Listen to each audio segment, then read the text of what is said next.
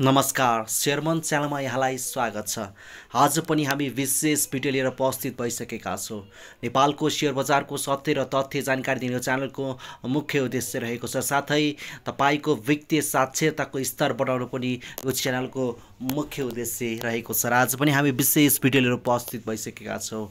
तपाईँ हाम्रो च्यानलमा पहिलोपटक हुनुहुन्छ भने कृपया हाम्रो च्यानललाई सब्सक्राइब गरिदिनुहोला र फलो पनि गरिदिनुहोला अनि कमेन्ट पनि गर्नुहोला। म तपाईँलाई आज सानिमा ब्याङ्क लिमिटेडको आर्थिक वर्ष दुई हजार उनासी अस्सीको चैत मसान्त समूहको वित्तीय विवरणको जानकारी दिन गइरहेको छु। हामी यसको विस्तृत फन्डामेन्टल एनालाइसिस गर्नेछौँ। सानिमा ब्याङ्क लिमिटेड नेपाल राष्ट्र ब्याङ्कबाट क वर्गको इजाजत प्राप्त वित्तीय संस्था लिमिटेड हो। र सानिमा विकास ब्याङ्क सानिमा ब्याङ्कको आर्थिक वर्ष दुई हजार उनासी अस्सीको वित्तीय विवरणको जानकारी दिन गइरहेको छु। सानिमा ब्याङ्क लिमिटेडले आर्थिक वर्ष दुई हजार उनासी असीको चैत मसान्तसम्ममा एक अर्ब एक अर्ब एकहत्तर करोड सोह्र लाख रुपियाँ नाफा आर्जन गरेको छ। गत वर्ष यो एक अर्ब उन् एक एक अर्ब उना उन्साठी अर करोड रुपियाँ रहेको थियो। यसरी सरस्वती हेर्दा नाफा केही मात्रामा बढेको देखिन्छ। त्यस्तै गरी नेट इन्ट्रेस्ट इन्कममा गत वर्ष तिन अर्ब पैँतिस करोड रुपियाँ रहेको थियो भने अहिले चार अर्ब तिरानब्बे करोड रुपियाँ नेट इन्ट्रेस्ट इन्कम कमाएको छ। त्यस्तै गरी इम्पेयरमेन्ट चार्जेसमा गत वर्ष सत्ताइस करोड गत वर्ष सत्ताइस करोड निरान्सौ लाख मात्रै थियो भने अहिले एक अर्ब चौध करोड रुपियाँ इम्पेयरमेन्ट चार्जमा छुट्याएको छ। मैले तपाईँलाई जानकारी दिइहालेँ एक अर्ब एकहत्तर करोड रुपियाँ नाफा कमाएको छ गत वर्ष। यो एक अर्ब उन्साठी करोड रुपियाँ रहेको थियो। नाफा केही मात्रामा बढेको देखिन्छ। मैले तपाईँलाई यो जानकारी दिएँ।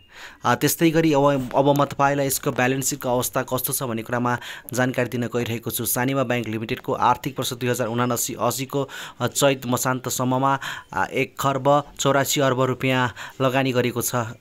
लोन एन्ड एडभान्स ग्रुपमा लगानी गरेको देखिन्छ भने गत वर्ष यो एक खर्ब छत्तिस अर्ब रुपियाँ रहेको थियो।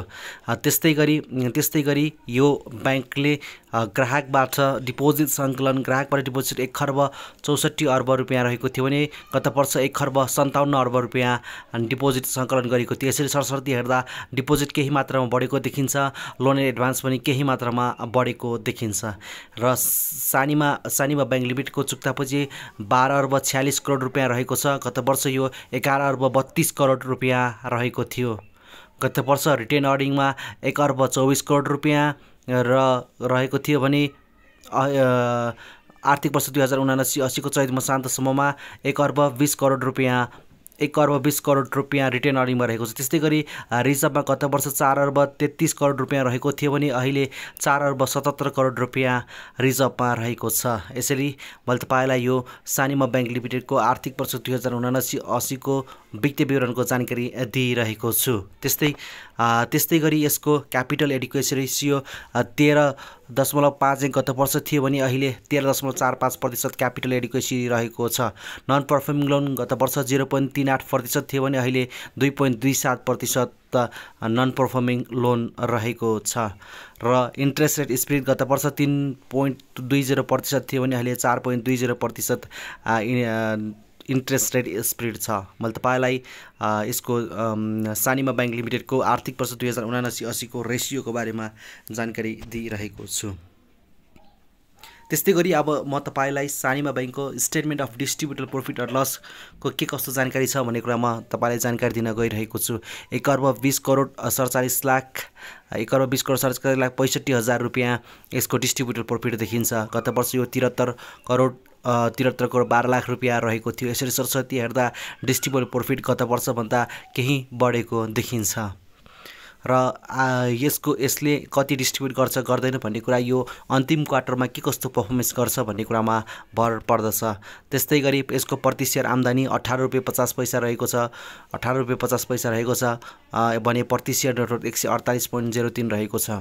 मैले तपाईँलाई यो जानकारी दिएँ। त्यस्तै सानिमा ब्याङ्क लिमिटेडले विगतका वर्षहरूमा कस्तो लाभांश बाढेको थियो भन्ने कुरा म तपाईँलाई जानकारी दिन गइरहेको छु।